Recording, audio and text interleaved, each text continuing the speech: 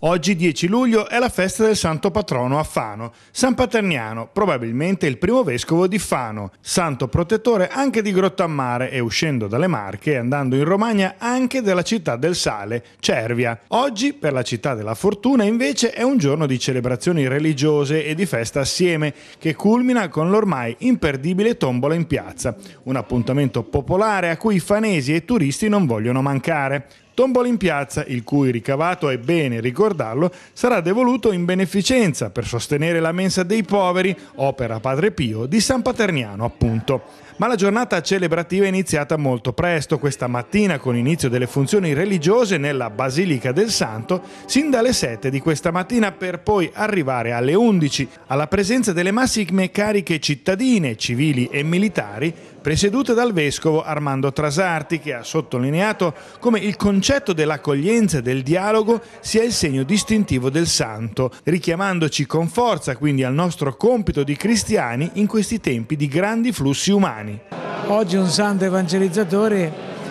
ci dice ieri come oggi che la fede bisogna non solo professarla ma anche narrarla con le parole e con la vita.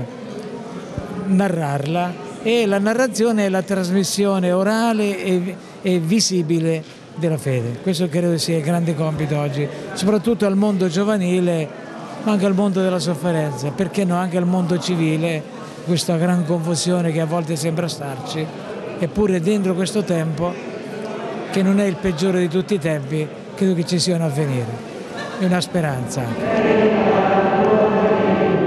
Una giornata di festa per la maggior parte dei fanesi che sia sì di svago, ma anche che serva per riflettere sui vari aspetti della nostra società in grande evoluzione e trasformazione all'insegna del santo protettore della città. San Paterniano è stata una grande figura e anche dall'omelia del Sua Eccellenza il Vescovo le parole sono quelle della speranza, sono parole di partecipazione e di non eh, girarsi dall'altra parte ma di aiutare, di essere attivi nella società e avere rispetto degli altri. E quindi queste giornate, oltre ad essere un momento di festa, sono anche un momento di riflessione, sono un momento di condivisione, sono un momento per vivere anche la comunità a cui si appartiene.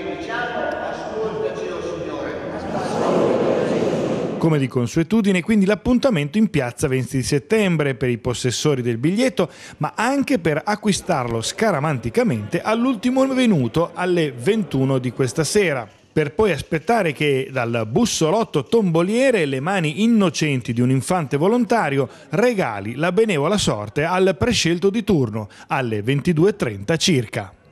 Numero 36, 36.